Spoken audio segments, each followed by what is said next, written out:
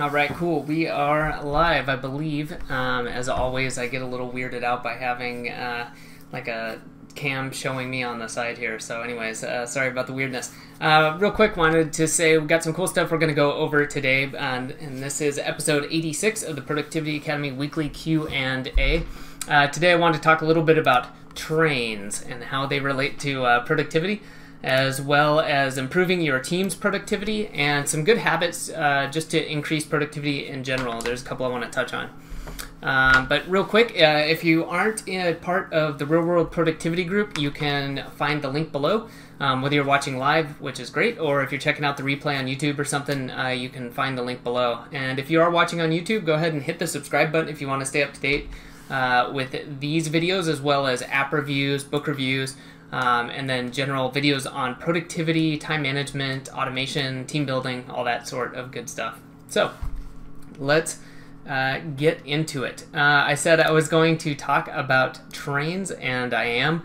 Uh, this is pretty cool. I hopped on a train uh, from Denver to San Francisco, or close to San Francisco, uh, over the weekend, and that was the first time taking a long train ride. Um, I'd planned this a couple months ago. It's something I'd wanted to do for a long time. Thought I'd give it a shot. Uh, and it's kind of fortuitous in the timing that after I had planned this, I started looking around. I came across some articles and people were talking about, oh yeah, trains are great for productivity in the sense that you know literally you kind of have to slow down. You may or may not have reception. Uh, you know, you may or may not be able to use your phone, your computer, this, that, or the other thing. I said, oh, this is great. I love to read, if nothing else. You know, maybe be able to get some work done and kind of brainstorm on some big projects.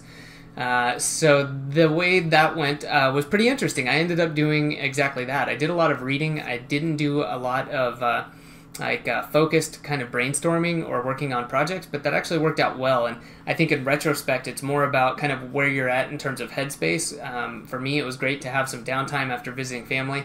Um, you know, look out literally out of the train, check out the sights, you know, going through the Rockies and then through Nevada and all that and just to be able to read. And I had a, uh, like a loose list of things with me um, that I could have done. A couple of them I looked over. I got a little bit of work done uh, here and there, but overall it was uh, really good. I'd really recommend it to anyone who feels drawn to that. You know, if you hear this and you're like, oh my god, no way, I never want to do that, then definitely don't do it. Uh, but I think it was good. You know, I had uh, my Kindle with me, laptop, uh, my phone. Um, I didn't bring an actual physical book just because I was trying to travel light.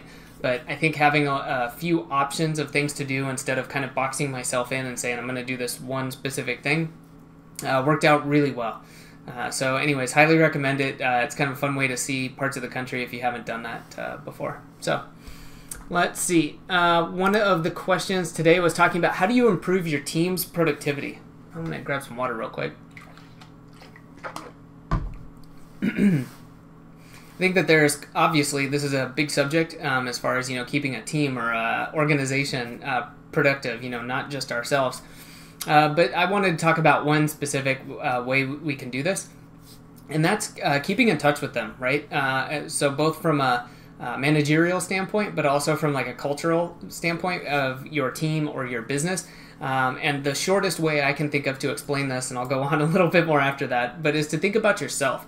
Um, whether uh, you've had a job where you had you were part of a team or you had a boss, um, or just where you worked with other people and and thinking about you know did you like it when somebody invested time in you and find out what you're doing how things are coming along not just you know report to me what you're doing but you know hey are you having any roadblocks? Any obstacles? Um, hey you're doing this or that really well. Is there anything i can do to help you? Investing that sort of time into your own team is huge. And i know a lot of times we all get busy and you know it, it needs to go a little bit beyond the maybe all hands meeting. Maybe do a one-on-one with people. And you know certainly there's a limit to how many people you can do that to but if you can do that with your direct reports you know maybe it's just a project manager or a manager of a small team of vas or maybe you've got a really big team and that's great too. That's a great way to do this. But investing that time and then having them do it down the chain uh, is really important. And one, it shows you care, uh, which is important. That's going to have people invest or be invested more. Uh, and then also, it's going to let you find out literally by asking them, you know, what's going on with you? What are the roadblocks? You know, staying on top of that and being involved. Um, and I know for the times I've been part of teams where, you know, there's more cohesion, um, you're definitely more motivated and you feel, again, like you're part of a team instead of just some person doing something. Uh, so I think that that's a really important one that we can kind of gloss over and we just get busy and sometimes it falls to the side. And I would say not to do that, really build that into your team building.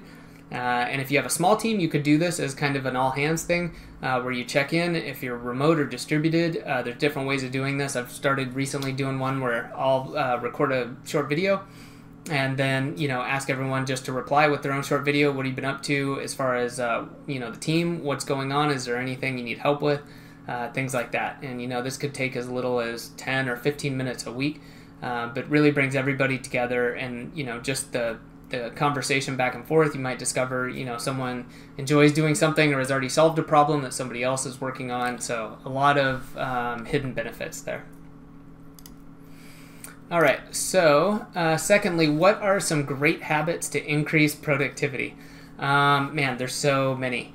Uh, I will, of course, say a daily review. Uh, that's my go to answer for good reason. I think that that can form really the foundation of uh, being productive as well as managing your time well. Um, I've got a article, whole article on that. You can uh, just search for Productivity Academy Daily Review and find out more about that. Um, I think that the next building block onto that is, you know, you've done the review, but then adding a real review. So the daily review, I just mean, you know, gathering everything in kind of in the getting things done sense of like, you know, take all your sticky notes, take everything from your different areas, Evernote, this, that, and put it into one space. You kind of prioritize batch, plan your day out, and go. But then sitting down, maybe once a week, once a month, however works for you, looking back and saying, hey, is my daily review working? What is working the best out of that? And How can I get more results from that? Or what isn't working? Or what am I not doing and why am I not doing it? Is there a reason? Should I just stop trying to do it? Or is there a way I can kind of make myself do it by setting a reminder or, you know, accountability partner or something like that?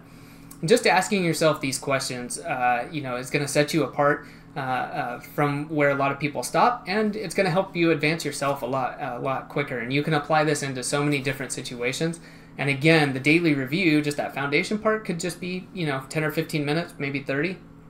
This review can be the same. This doesn't have to be some um, you know really painful process. It can be a lot of fun to just say, hmm, this is what has gone well how can I get more results like uh, from that doing that? Can I do more of something or uh, is there another way that I could either automate or delegate or do something else like that? So I think that that's a really important habit uh, to get into, and you, like I said, you can start applying this uh, to other areas. You know, in your business, your personal life, maybe.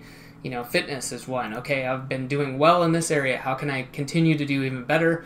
This area is suffering. Why is it? What's going on there? Is it something I can either uh, get rid of? Like maybe I haven't been eating well okay, you can't get rid of eating, but you can try to say, ah, okay, maybe I'll, you know, station snacks in the fridge or like a bag of carrots is up front so that I don't just reach for something else. I mean, that's a very simple example, but that's the idea of just sitting down and you're making these small changes over time. And then you just get that kind of exponential increase where over time it really, really adds up. So, good questions today. I think that is going to do it. Keep it pretty short. Uh, but yeah, if you've got any questions, you can always uh, join the group and ask below.